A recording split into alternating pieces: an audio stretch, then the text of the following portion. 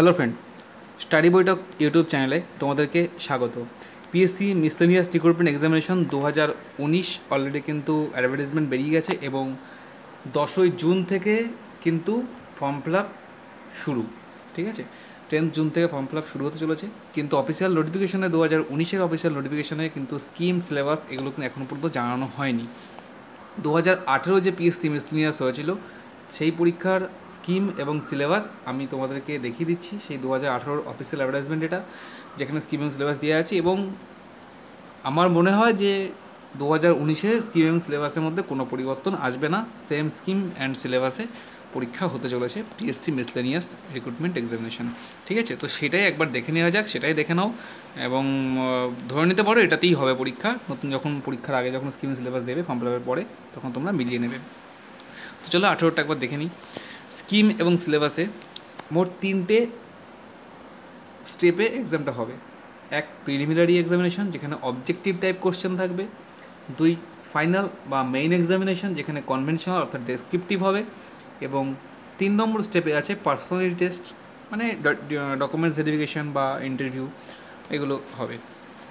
তো প্রিলিমসে কী আছে দেখা যাক। প্রিলিমস এক্সাম হবে মোট একশোটা কোশ্চেন থাকবে মাল্টিপল চয়েস কোশ্চেন একশোটা, ঠিক আছে? যেখানে জেনারেল স্টাডিজের থাকবে হচ্ছে মোট দেড়শো নাম্বার মানে পঁচাত্তরটা কোশ্চেন থাকবে জিএসের ঠিক আছে? ইন্টু টু মোট দেড়শো নাম্বার একটা কোশ্চেন টু মার্কস করে, ঠিক আছে?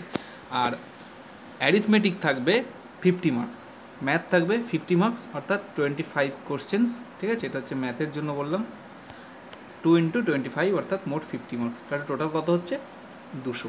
টোটাল দুশো নম্বরে কিন্তু পরীক্ষা হবে।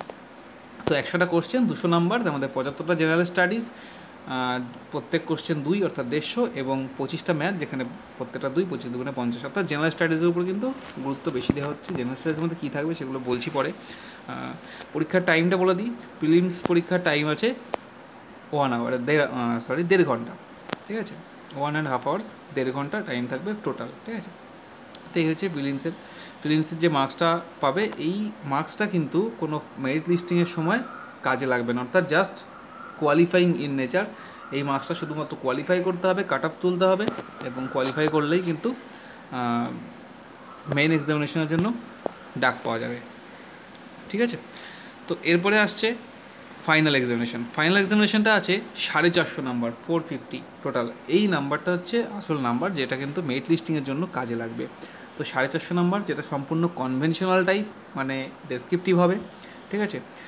এর মধ্যে থাকছে তিনটে paper paper one paper two আর পেপার থ্রি পেপার ওয়ানে কী থাকছে? পেপার ওয়ানে থাকছে ইংলিশ ঠিক আছে? পেপার ওয়ান যেটা আছে, সেটা হবে হচ্ছে ইংলিশে হুম? অর্থাৎ ইংলিশ ল্যাঙ্গুয়েজের উপরে সিলেবাস পরে বলছি। সিলেবাস দেওয়া আছে অফিসিয়ালি সেটা আমি বলব। পেপার টুতে থাকবে যে ল্যাঙ্গুয়েজটা তুমি চয়েস করবে। ঠিক আছে? ধরো বেঙ্গলি হিন্দি উর্দু নেপালি সাঁওতালি যে যেটা চয়েস করবে তার উপরে হবে।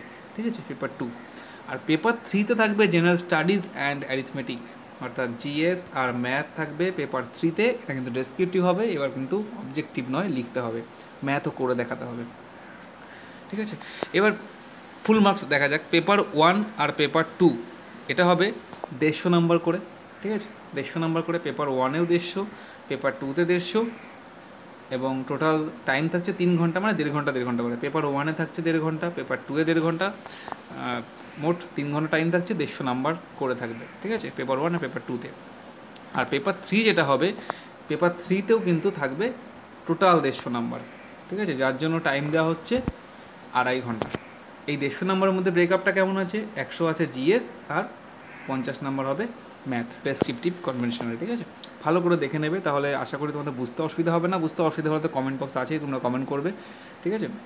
এখানে দেখো কি লেখা আছে full marks of paper three will be one fifty একশো marks for general studies R fifty marks for arithmetic general studies থাকবে গ্রুপ এতে আর অ্যারিথমেটিক থাকবে গ্রুপ বিতে টোটাল টাইম থাকবে আড়াই ঘণ্টা।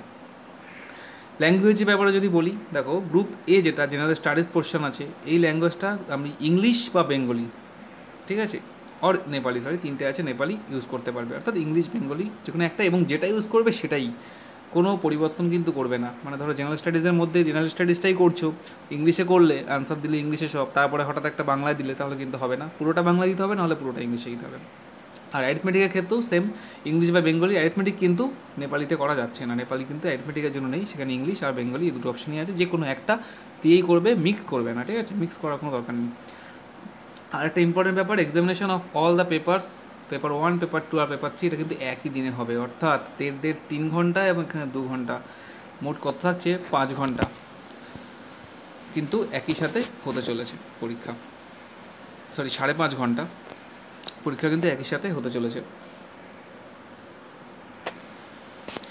চলো এবার দেখা যাক পার্সোনালিটি টেস্টে কী আছে? তিন নম্বর ধাপ যেটা সেটা আছে হান্ড্রেড মার্কস পার্সোনালিটি টেস্টে ঠিক আছে? এখানে ডকুমেন্টস ভেরিফিকেশন হবে ফাইনাল এক্সামিনেশনের মার্কসের উপরে ডাকা হবে, ঠিক আছে? কাট অফ এর ব্যাপার তো আছেই, অবশ্যই ফাইনালও কাট অফ কত হয়েছে, তার উপরে ডিপেন্ড করে ডাকা হবে, এবং ফাইনাল মেরিট লিস্ট কিন্তু হবে total marks obtained in all the three papers of the final examination and the personality test মানে সাড়ে চারশো আর একশো। মোট সাড়ে পাঁচশো নাম্বারের মধ্যে কত পেয়েছ, তার উপরেই কিন্তু ফাইনাল মেরিট লিস্ট হবে।